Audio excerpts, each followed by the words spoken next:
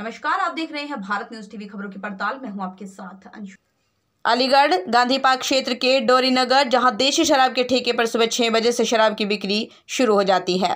सुबह आठ बजे सूचना मिली कि थाना गांधी पार्क क्षेत्र के डोरीनगर स्थित देशी शराब का ठेका विक्रांत प्रताप सिंह के नाम पर है। आपका निरीक्षक विचित्र सिंह द्वारा बताया गया। उन्होंने कहा, उसमें सुबह छह बजे से अवैध रूप से शराब बेची जा रही है, सूचना मिली। पुलिस द्वारा अंदर से बेचने वाले आदमी को बुलाने की काफ़ी कोशिश की गई, लेकिन वो बाहर नहीं आया। काफ़ी देर तक पुलिस ने भी दरवाज़ा खटखटाया। इसके बाद भी वो बाहर नहीं निकला। शराब बेचते हुए की वीडियो सूचना देने वालों ने मुझे उपलब्ध कराई है, कहना है उनका। इसके विषय में उच्च अधिकारी को अवगत करा दिया गया है। विभागीय कार्रवाई जल्द कराई जाएगी। मौके पर पुलिस भी मौजूद रही।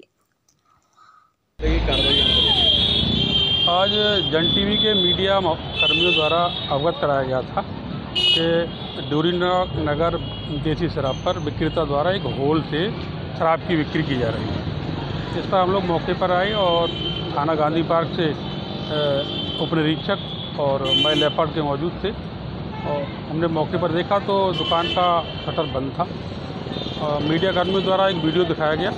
उसमें स्पष्ट था कि उसका विक्रेता दुकान का होल से किसी व्यक्ति को एक पौआ बिक्री कर रहा था। उन्होंने मीडिया कर्मियों द्वारा हमें जो है, उसका जो बिक्री किया है, वो पौआ भी हमें उपलब्ध करा दिया गया है।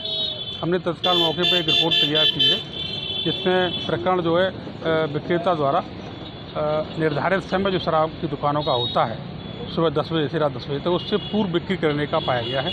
रिपोर्ट तैयार कर ली गई है और उपस्थित सदस्यों के हस्ताक्षर करा लिए गए हैं। रिपोर्ट आगे जिला आबकारी अधिकारी के माध्यम से जिलाधिकारी महोदय को भेजी जाएगी आवश्यक कार्रवाई। ये विक्रेता का क्या नाम है विक्रेता का का नाम अभी जो है जब सेल जब दुकान खुलेगी और लाइसेंस में देख के हम लोग उसको जो है उसमें क्लियर करेंगे और आगे डालेंगे।